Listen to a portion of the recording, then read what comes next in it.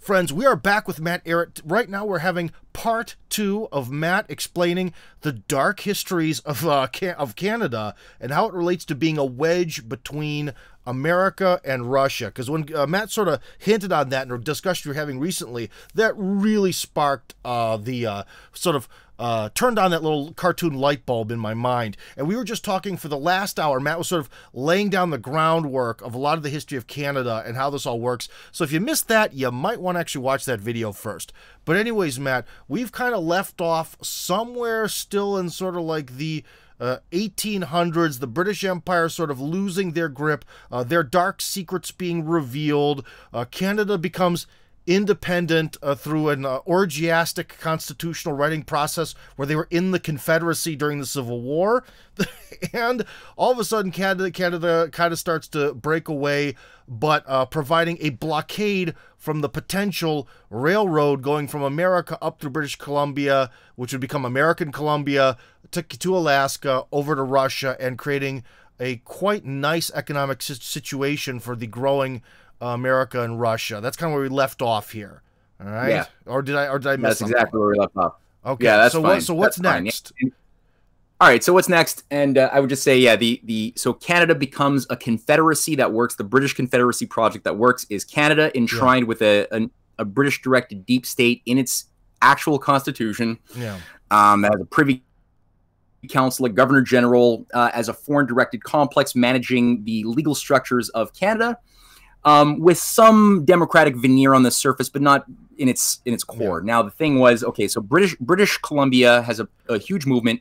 Their economy has has just been hammered because they're they were formerly um, flying on the wave of the gold rush. That was yeah. like a big economic boom, but like all booms, it busted.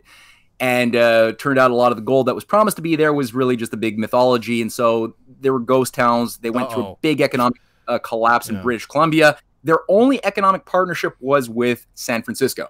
Yeah. They had no economic activity with the with the mother country in Britain or with the um, the other eastern colonies of uh, you know separated by three thousand kilometers of nothing, no development, no rail across yeah, Canada. The only rail was the world's first trans- transcontinental rail, which was built up by Lincoln and finished in 1869.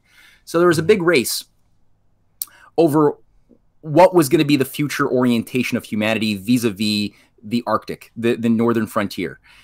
And uh, so Frederick Seymour, like I mentioned, is eliminated. The governor uh, of Britain, who's mm-hmm. protecting the annexationists, he's eliminated, probably killed.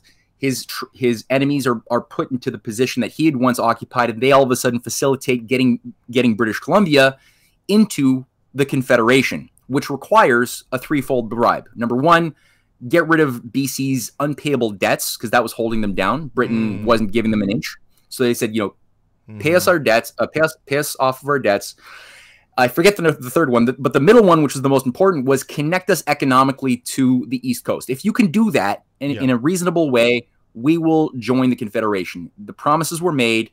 It took 15 years to finally build the rail, but it was built as part of the bribe. But part of the thing holding back the, the rail being built was the fact that the Hudson Bay Company, that was set up, you know, by uh, I think it was in the 17th century, uh, called Rupert's Land, was still private British East India Company controlled territory that had mm-hmm. to then be federalized, which they sold for pennies on the dollar in uh, in the 1867.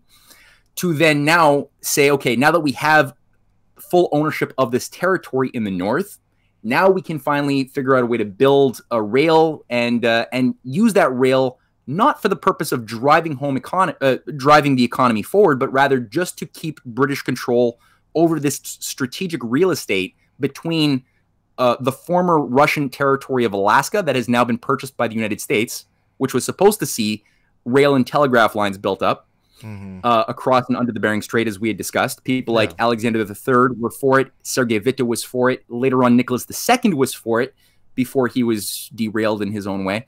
Oh, I like that. Um, yeah, yeah, yeah you use that. Yeah, thank you, thank you. Um, so that's where the uh, Canada sort of got its its its origin moment, its origin story mm-hmm. built on a fallacy. But the reality was it was the zone that was used by Confederate British operations to kill Lincoln, as we went through in the last episode. People yeah. should watch that to get a sense quickly of that. Um, and then to keep it as much as possible a wedge preventing the inevitable, eventual, or possibly inevitable um, economic integration or cooperation around a U.S. Russian policy of a, a type of manifest destiny that would be premised on the idea of the mandate of heaven, that we would go to not conquer the weak or enslave, but rather spread the best of civilization in a in a an idea of a of a of a society of win-win cooperation, or as John Quincy Adams had called it under the his idea of the Monroe Doctrine was an idea of a family of nations.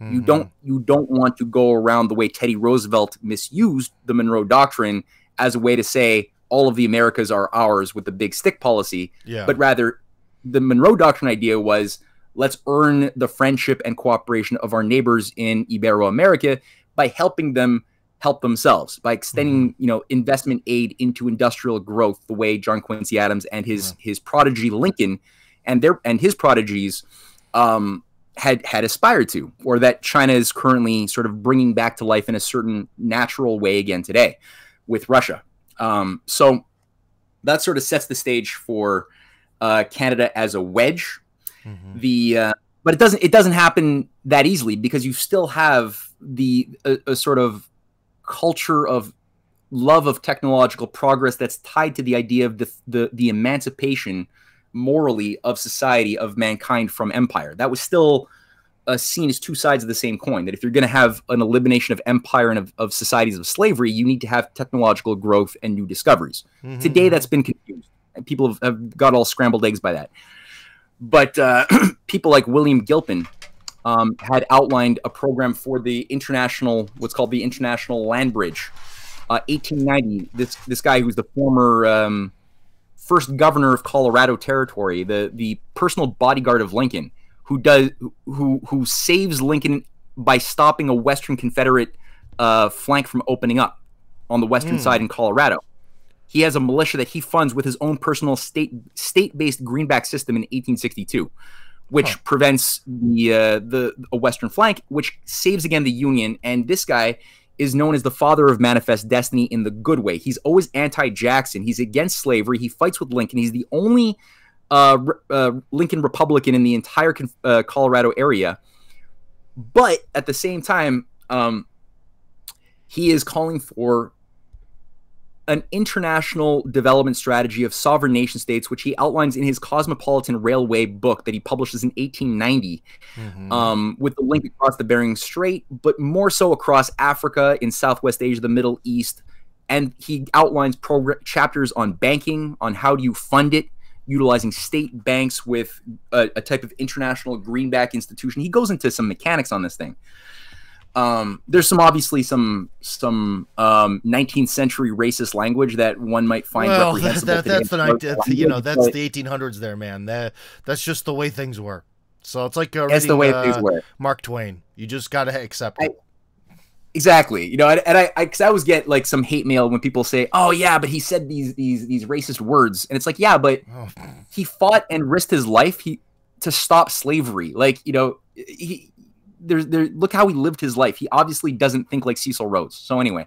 Well, um, that's the problem, dude. A lot of times people have a lot of trouble getting like uh, jumping that sort of uh, mental gap between the present and the past because uh, things were very different back then, especially terminology wise. Like if you think about even some of those basic words in our language that seem to exist in the um, uh, expressions more than anything.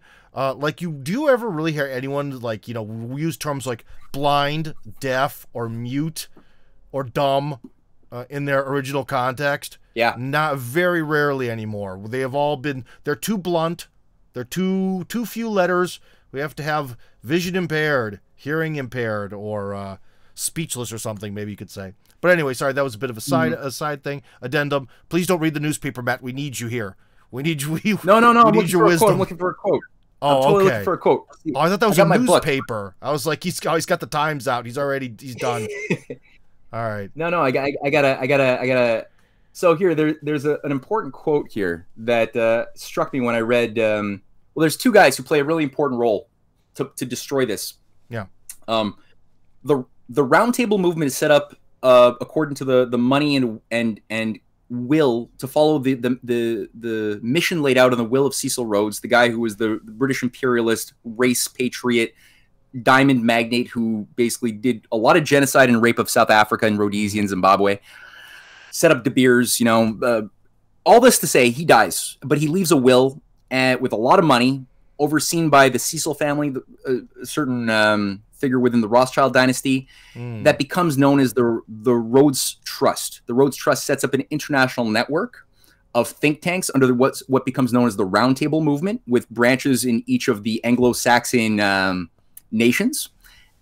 And they also have a, a, scholarship program called the Rhodes Scholarship to indoctrinate a new breed of uh, imperial manager with a more um, disciplined, like kind of like a, a, Jesuit styled, as he says in his own, mm-hmm. is in his wills, a, a Jesuit modeled constitution of indoctrination within the halls of Oxford that would create a more trustworthy brand of um, high level civil servant that is better than the t- type of old school you know more Christian Anglican Christian uh, variants we we were if forced only to create. He knew that he would create Lloyd Austin much later. Sorry, I forgot well, where it cost to went to college. I just, wanted, I just wanted to bust on that guy. Sorry. Okay, yo, carry on. Was he a Rhodes Scholar? Uh, no, I, I forget, but I was just saying that like uh, about this like uh, when you describe this sort of like the indoctrination of the uh, picking people based on loyalty. That's he's the first person that really came to mind. You know, as like well, I'll tell you what, I'll tell you what, he's definitely a creature of the system, and definitely um, there are so many Rhodes Scholars around Joe Biden managing this guy, like Jake Sullivan, Susan mm. Rice, um, uh, oh my God, um, um, Bruce Reed, yeah. uh, political agent, controller of, of Biden, uh, co-authored the uh, the Patriot Act with Biden back in 1994. That was remixed by Ashcroft. Um, there, there's a whole nest of these these creatures. They're everywhere. They, and so, in, in the case of the United States, one of their think tanks becomes known as the Council on Foreign Relations, that's set up in 19, uh, 1921 mm-hmm. as the the American branch of this British hive of Chatham House. This is the British Roundtable. Okay. Um, so all that to say, they work to get, they work very closely with another uh, eugenics based um, secret society that works through the Fabian Society of H.G. Wells uh, Halford Mackinder, the, the founder of modern geopolitics, is a big figure in the Fabian Society. Now, Mackinder and Milner, Lord Milner is a key key leader of um, of the Roundtable movement. Mm. They mm-hmm. work very closely together.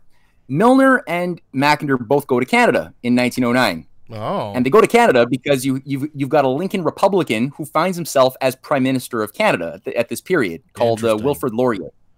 Yeah and Laurier is a devout pro, uh, anti-Malthusian, pro-development grand strategist. He had formerly been working in a network of Republicans called Les Rouges, the Reds mm-hmm. of Quebec in the 1860s against Confederation and for development. Re- like really solid people. And this guy finds himself. I don't even know how. It's a miracle. He he becomes prime minister. But he's also trying to stay alive because it's a dangerous time to be um, a humanist leader in a in a especially amongst um, a British colony of Canada or Dominion of Canada. Uh, ironically, uh, in 2023 within the West, uh, that is also true. I'm sure you know firsthand.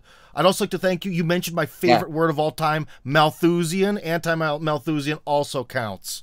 So got got our Malthusian yeah, of the day that's really hard to be anti-Malthusian with political power in uh, the technocracy of the West these yeah, days. It's, it's very uh, hard, and it's only getting uh, worse. But anyways, uh, we'll uh, we'll pray yeah, for yeah, you, Matt. A... we'll continue on our story so, here. Okay, I'll have to take a shot because you said so, Malthusian. I just don't have any alcohol here.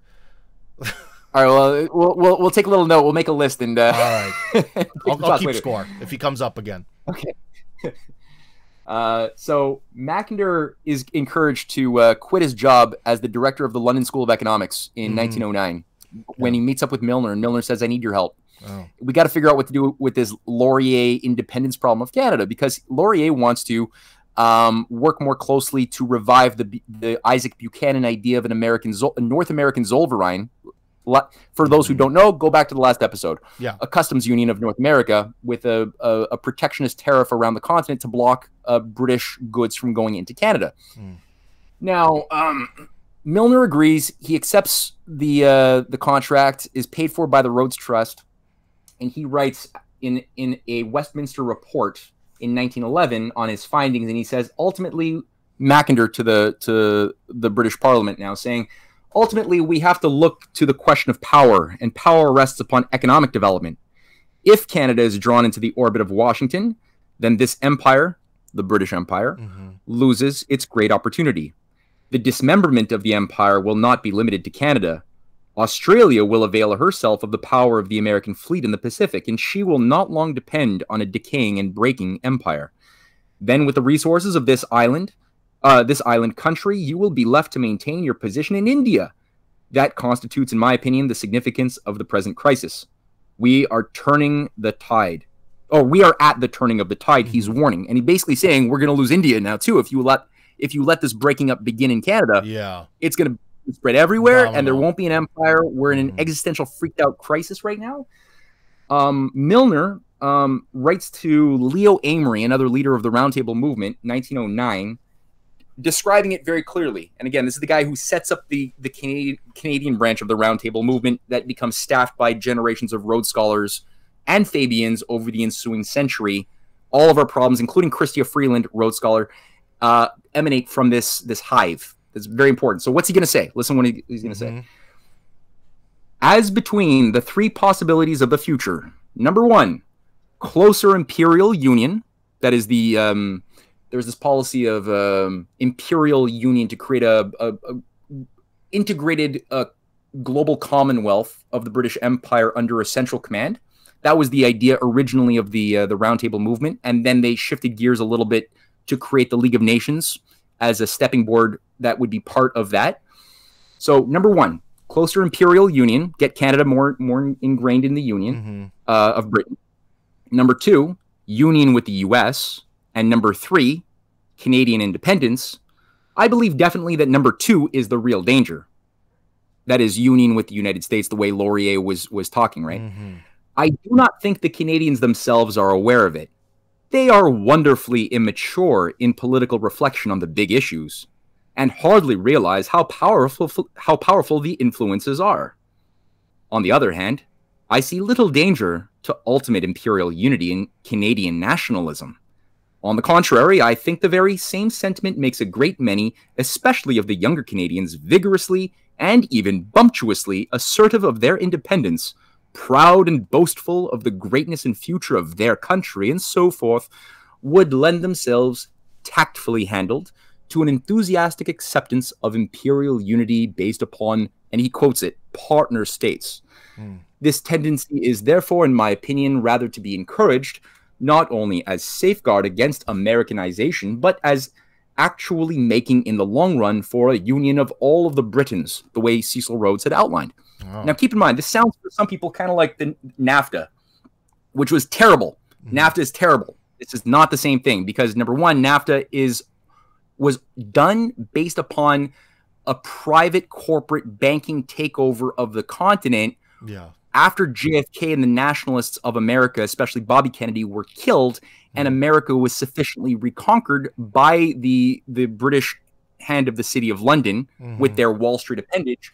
And once that was firmly back under the control of the mother country, that's when things like NAFTA were then encouraged as part of a, a consolidation of power across the continent with Mexico and Canada, destroying the manufacturing base, destroying the the actual capitalist base of, of the well, Americans. Yeah, it was the beginning. It was the uh, Francis Fukuyama, the end of history. Time to burn it all down, baby.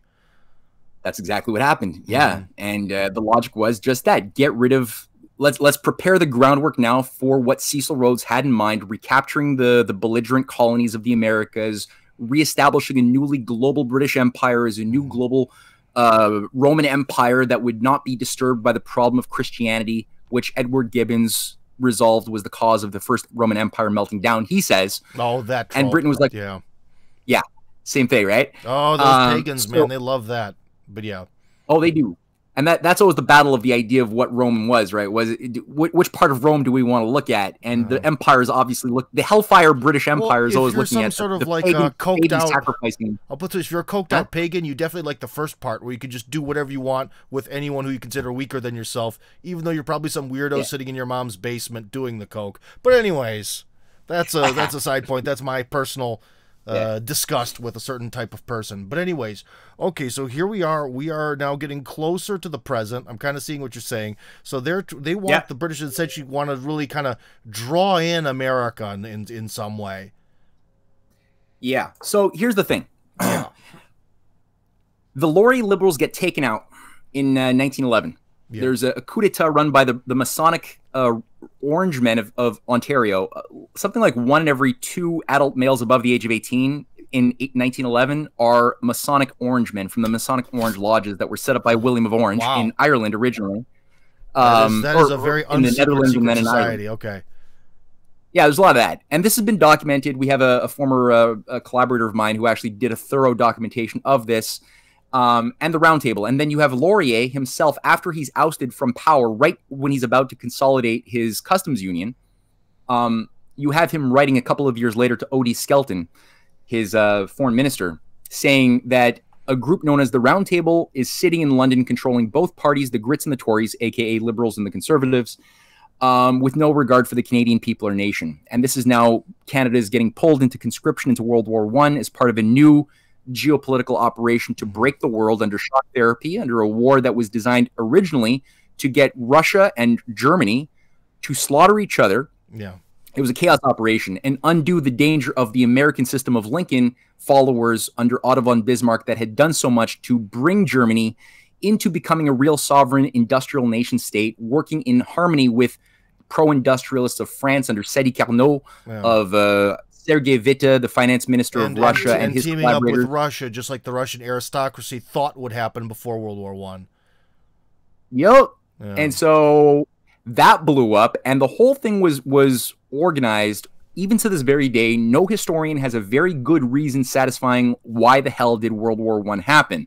Mhm. Um, there, there was a completely contrived set of secret military agreements around the Entente Cordiale, which Germany had no way to know about. And it was only at the last minute. Germany was the last nation to militarize itself for the war. Um, uh, you know, and it, Sergei Witte had already been ousted a long time earlier after the first attempt at a Bolshevik revolution funded by Wall Street back in 1905 was already like had already happened way earlier, the same year the the Trans Siberian is finalized.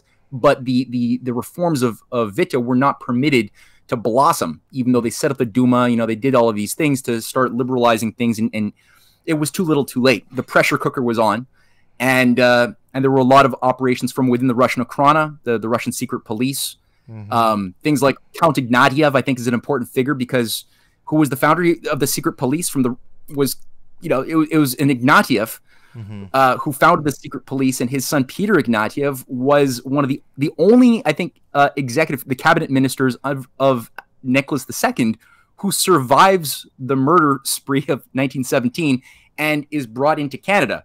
And his son George. Ignatiev becomes a, a Rhodes Scholar globalist working uh, to push one world government. And his son, George Ignatiev's son, is Michael Ignatieff, who goes on to head the Liberal Party of Canada um, between Bob Rae and uh, Justin Trudeau. Hmm. Um, so you have this whole weird, and and they're very connected to George Soros and after the 1970s too, which is weird. So you got this whole internal operation within the Okhrana, which is tied to certain very bad interests that are working with their oligarchical um, collaborators in Venice, in Italy, in in Britain, uh, to basically just like like break the break the chessboard. You know, when you can't win the game, you you knock everything over. And it's the age of assassinations between Lincoln all the way to Archduke Ferdinand. There's like 40 Yeah. major high level assassinations around the world, including two czar, three czars, um, well, two czars and then a third soon thereafter. Um, you have finance ministers galore, interior ministers of Russia. Germany has, has gets something like 300 of its ministers killed by by London protected and directed anarchist terrorist operations that have Mhm. different facets. In Serbia, with the Black Hand that's used to deploy to kill a disposable archduke, that then initiates a whole series of mili- military agreements between Yeah. Austria and Germany and Serbia and Russia and, and everything else jumps on, right? So it's a five year meat grinder, four year meat grinder, out of which the, the, the roundtable movement under Lord Milner has now fully taken control of Britain to set the stage and, and shape the, the outcome of the, um, the peace of the Treaty of Versailles period in 19, 1819, which then creates the basis of a lot of other things. The one world, the first one world government under British Bank of England controls was the League of Nations Yeah. to get rid of national sovereignty. Fortunately, you have in America the case of the Warren Harding Republicans, the last Lincoln Republicans who take power. They resist. They uh, that fails. And the Laurier Liberals again take power after Laurier dies. All of his colleagues then take power after World War II in Canada, World War One in Canada, and uh, start p- bringing back a nationalist policy of development for Canada. Now, there's a lot that I'm going to skip over, but I'm going to go to the second part of the story. And if people want to read more, they should go to The Clash of the Two Americas and Untold History of Canada, volumes one to four. Each one is a four volume book series. The lot, a lot is going to be unpacked in those books. But I'll say the, the last time that there's Did a real effort them? to. Yes. Okay, that's an important point you should make, dude, because you're one of the most uh, established authors I've ever met. Yeah, here are, here are the books. Uh, so they're all pretty big. Um, they're like hefty books. Yeah. and um, this one is a uh, the, the first one is the unfinished symphony hmm from 1774 to 1891 the second one is uh, open systems versus closed systems col- collide between 1890 uh, 1891 to 1974 hmm the third one is birth of, an, of a eurasian manifest destiny with picture of ben franklin and the uh, the belt and road initiative Oh. there. All right. and then the fourth one is the anglo-venetian roots of the deep state. And what i'm going to say now Yeah. is all unpacked in a lot of this, but I'm going to skip over some stuff and just go to the next high point in U.S. Russian friendship because we just passed. I mean, today is Elbe Day. I don't know when you're going to run this thing, but today is Elbe Day. Yeah, I, I probably tomorrow, but yeah, today is uh, the height of U.S., uh, Soviet, or Russian friendship officially. Unfortunately, I missed the conference Yes. you invited me to about that earlier. Sorry, man, I kind of got stuck with the whole parenting thing. No, no, it's, it's totally good. You're you're living your life for the cause, man. It's fine. Well, an event is, of my a- kids, is an yeah. event. so um, so here's a it's a good point to just emphasize this. Elbe Day was the embrace of U.S. and Russian soldiers on the Elbe River in Germany on April Yeah. 15th. Sorry, twenty fifth. April 25th. Yeah, it's okay. weird little brain fart. Um, that signaled the the defeat of the danger of a Nazi-run one world government under a banker's dictatorship. So it's, it's it means more than a lot of people realize it means. And that dream that Franklin Roosevelt had, that Stalin had, that uh, that Henry Wallace had, the, the vice president of, of Franklin Roosevelt, of a world shaped by a U.S. Russia China alliance that would force Britain into a uh, like like a dog on a leash into a better form of behavior. Yeah. That world was sabotaged, but it was a high point of, of hope and potential. hmm And part of that potential was marked by discussions by Foreign Minister of Russia, Molotov, Mhm. and uh, Vice President Henry Wallace, who had begun in 1942, and I cite their quotes and their, their deliberations around reviving this Lincoln Age uh, program of connecting roads and rail through the Arctic, through Mhm. Alaska, and into Russia vis-a-vis the Bering Strait um, they they both said very clearly that it was only not a matter of if but when it was going to happen and that was going to be one of the first projects for arctic development to open the new frontier that was going to drive the reconstruction of the world after world war ii was completed unfortunately um, some other things got in the way nam- namely the, the early death untimely so of fdr who like. Warren Harding, He's a man named Truman. I was yeah and then say. truman is installed Truman, Truman Yeah. was, a, was a big barrier. He really uh he changed he, he moved the Overton window in Washington very quickly. Yes, he did, and he, he ushered in the uh, what's called the Anglo-American Special Relationship. He passed uh, certain bills through executive decree that put American foreign policy into the um, into the service of the British Foreign Office by saying by essentially twisting this logic under NSC 68 that Mhm. since the Cold War, which you know all of a sudden Russia, who we, we were we were brothers with, brothers in arms for 150 years, all of a sudden we're going to call them our enemy. Since they're our enemy, and so is China, all of a sudden, says Churchill, and, and adopted by all of the deep state Rhodes Scholar run operatives like Dean Rusk and Mhm. uh, George McGhee, other another Rhodes Scholar who's shaping U.S. Uh, Cold War policy. Um, since that's the case, all of the former territories of Great Britain that want independence are tending to move socialist, and they are moving out of our sphere of influence. So we can't allow that for the greater good. And so all of a sudden, the US military goes into the service of British foreign interests to keep the colonies under the control of the West, mm-hmm. starting with Greece, where the US military is deployed to kill a ton of Greek Republican resistance fighters who uh, are, are pro Russian. Um, in a democratic election, that that's smashed and then the US military is put to work in Korea, in Vietnam, yeah. in all over the world doing everything we know. And Canada unfortunately, you know, uh, falls increasingly despite the fact that you still have some positive influences in Ottawa at the time who are anti-British Empire, they're still now in a world of insanity. They need just like the American the Canadian rebellion of 18 1837-38 that we were talking mm-hmm. about last podcast they needed an America that was sane to work with in order to fully consummate their independence of Canada in the 1940s and 50s, which yeah. the US went crazy. There was no nationalist leader when it counted. And uh, when there was a, a, a sort of res- restoration of, of an authentic nationalism in the form of John F. Kennedy, that was snuffed out a little bit too soon there's stories about that as well in the Canadian allies of JFK in British Columbia in the 1960s that are worth also reading about too in my book series, The Untold History of Canada, which mm. is not here. I don't have those books right now. Um, so all that to say, Canada, dude, you're writing a lot. But all here's right. the last thing I'll say: Canada. If you want to understand why JFK was killed and how he was killed, you can't get far without rec- without acknowledging the work of New Orleans. Uh, Attorney General Jim Garrison, who wrote, who wrote a book called Trail of the Assassins in 1990 after 30 years of ongoing work. And this is the only guy who ever carried out a, a jury trial over the conspiracy to kill Ken, uh, Kennedy, mm-hmm. tied to, and, and Garrison does pretty well to prove it, a twofold operation utilizing NATO secret armies of Gladio and specifically some French uh, um, um, organization of the secret armies um, that kill that tries to kill de Gaulle, yeah. um, that are operational in in Texas in New Orleans, as well as a Montreal-based operation that's tied to the CIA called Permindex, which was originally set up as a front group out of Camp X, which was a FBI CIA connected operation in Oshawa, Canada during World War II to train um, black operations and assassinations for specialized um, spies that then goes on to create a, a, front group to carry out other assassinations on the form of permanent industrial exposition run by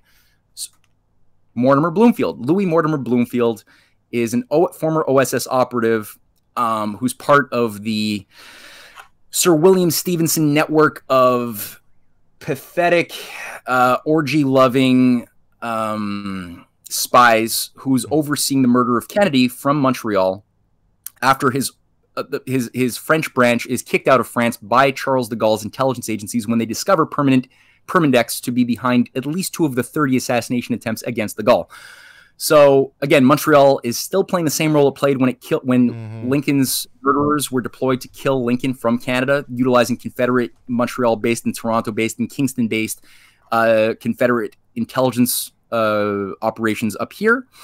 Same thing back a century later. And I would say probably it's not gotten better today in that sense. So people should be aware of that. And I would say the last thing when Donald Trump last the last time that I saw or the most recent time that the idea of building up the Arctic in North America really got some life was when Donald Trump was still president and he passed an executive decree uh, supporting the building of the Alaska Canada lower 48 state rail connection which had the support mm. of the provincial governor of Alberta, probably the only independence mind uh, province that has the economic power to sort of resist some of the edicts of, of mm. Ottawa, and uh, and endorse that, which would have finally connected the thousand kilometers of nothing between the lower rail systems in the lower part of the continent with um, Alaska. That there's just nothing there at all in northern Alberta, BC, yeah. or the Yukon. Nothing.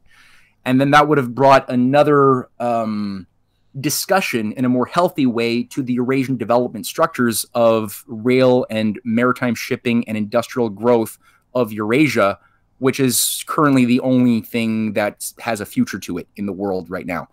So that would have been uh, something much more healing and natural for North America to re- recapture its best lost heritage, which was derailed with what we know what happened in the United States, which hopefully can be restored in a discussion with the um, potential merger of the better Americans under perhaps Bobby Kennedy Jr. and the better MAGA Republicans who don't want to well, go yeah, to World something War III. this this Kennedy Jr. and uh, the stuff he's saying publicly, something about that really smells like it's some kind of weird signal.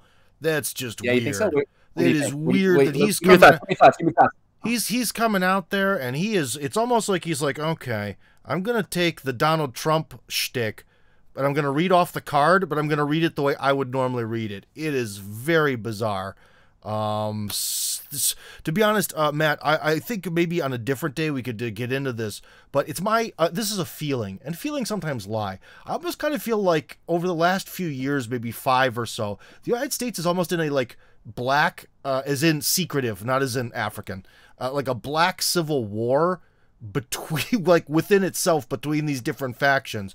Because sometimes you have like your of your hunter uh, hunter biden laptop being exposed but then he's not in trouble. Now he's gonna be in trouble then he's not. Or with trump gets accused of one thing and gets sort of put up to be destroyed then he isn't and then he gets put up again and then he isn't. There's this like ebb and flow of moving pieces and uh, when you also get into the whole thing about like how much uh, american uh, especially food infrastructure and this uh, uh, like the uh, i have a friend we share each other uh, with each other as as a dark humor uh, sort of these uh, different um like you know when trains derail. Dude there've been like 12 derailments this year. And they're starting to become evidence where they actually caught uh, they left behind there's apparently something that can help a train for whatever reason specifically get off the tracks. It's like this yellow box with a handle that there was one still there. Um this is something bizarre is happening i think behind the scenes that maybe we oh, could there is. try to no, break th- down there is.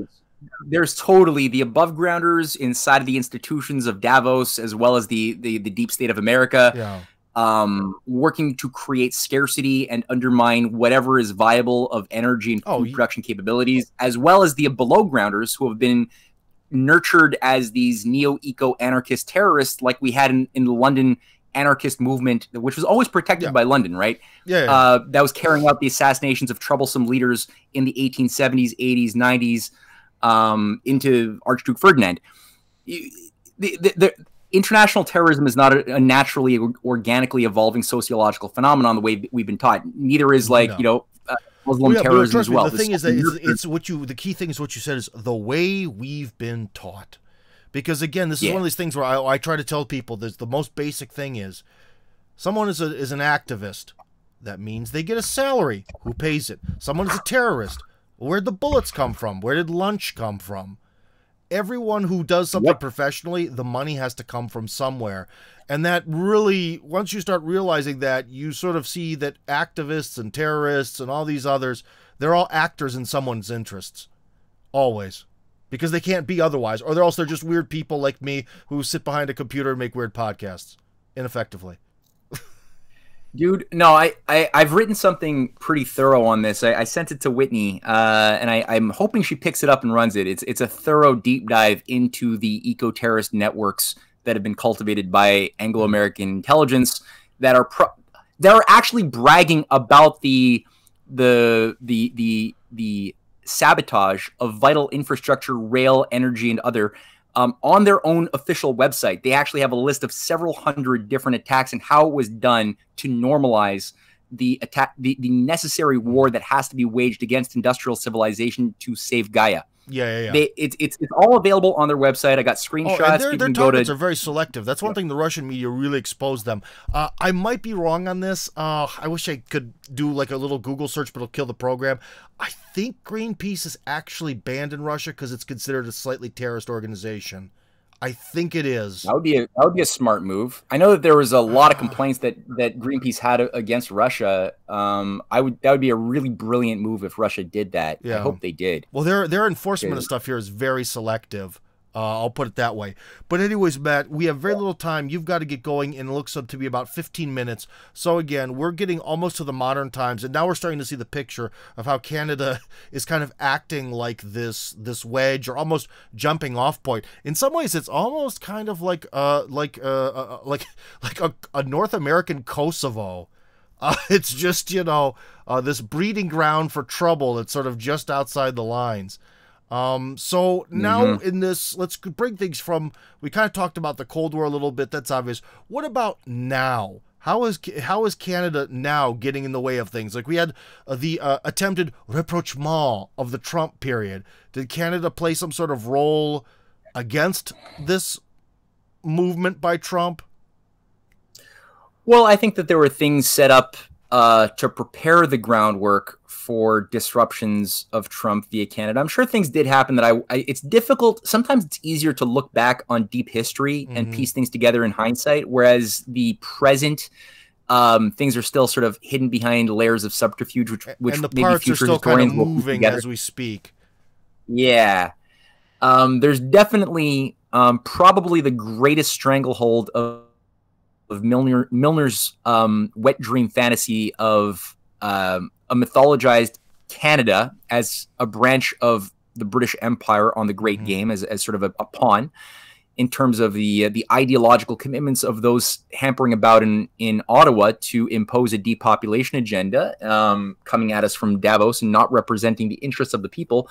That's at a max, but at the same measure, it's it's it's so ugly and um, hard to ignore the undemocratic tyrannical nature of what really is is has been there the whole time mm-hmm. it's not like uh, some canadians are still confused you know who came out to the, the truckers freedom convoy in in large numbers millions yeah. um, all across canada some of them were like how did canada get this way we were once a democratic country. Not that Canadians sound like that. And now it's a tyranny. And it's like, no, it's yeah. always been that. It's just that things were stable. So there was no need to actually just show you what it always was. And now that things are unstable mm-hmm. and there's more of an obvious intention to go from theory into action, yeah. you can now feel it more and see it a little bit more if your eyes are halfway open. And, and luckily, a lot of people's eyes were open. So you're seeing a lot of disruptions and unexpected variables now emerging where people are kind of like waking up out of their drunken stupor. Yeah.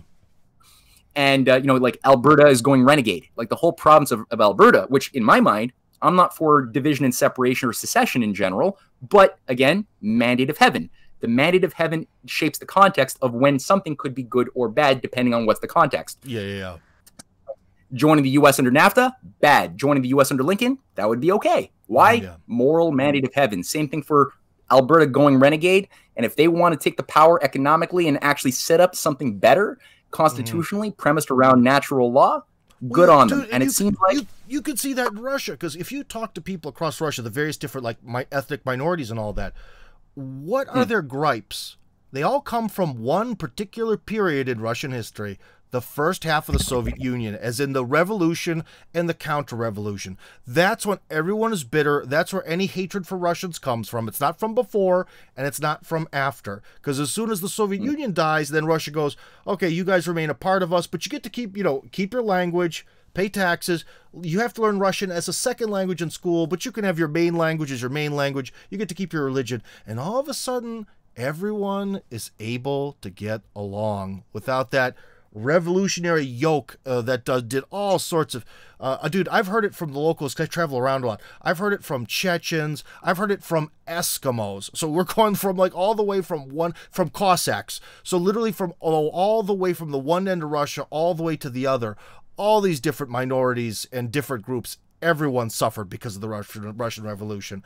Uh, that's one thing. Was when you're you're like 18 or 19, communism seems cool, but after you talk to people and like the history of this, it was the worst, man. It it was so bad. It didn't have to.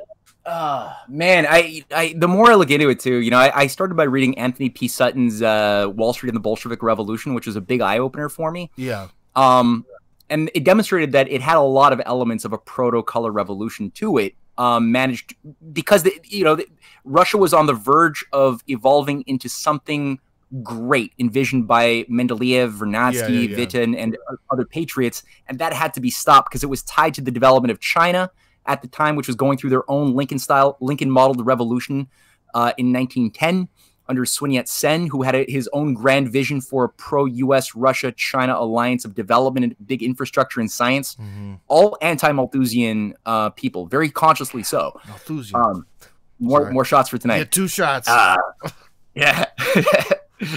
Sorry, um, word of the day so, every no, day of my life. Anyways, global chemistry.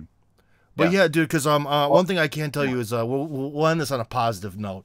Uh, there's some uh, secret rumblings from within the halls of power that they want to have. Uh, you know, there's 150 million people in Russia now, and the government would really like to see in the near future somehow there'll be 500 million people. So I think we're in, we're gonna be heading towards some big social changes in the way we do everything here. I think the special military operation sort of started things, and we'll see where it goes. Uh, we'll see where it goes. Hopefully, no, Russia needs 500 million people. Russia needs a billion people. That's a huge territory, Yeah. and that means you got to build a real economy that's super. Like you can do it. I mean, Russia. Russia. If anybody's going to do it in this world, it's going to be China and Russia. and it's and they're going to set the ta- set the tempo talking- and and and and be the role model for other people to realize like well why am i eating bugs yeah. and, and taking my suicide pill when i'm 50 when you know the russians get to live till they're 108 and they're eating like you know red meat Yeah, and, uh, and that's exactly Russia's destiny right now. It's sort of like it's gone back in time to that pre World War One status, where it's kind of back on the track to be on that sort of path to glory. And dude, what you're saying about the whole like uh, the, the the death pill and the bugs,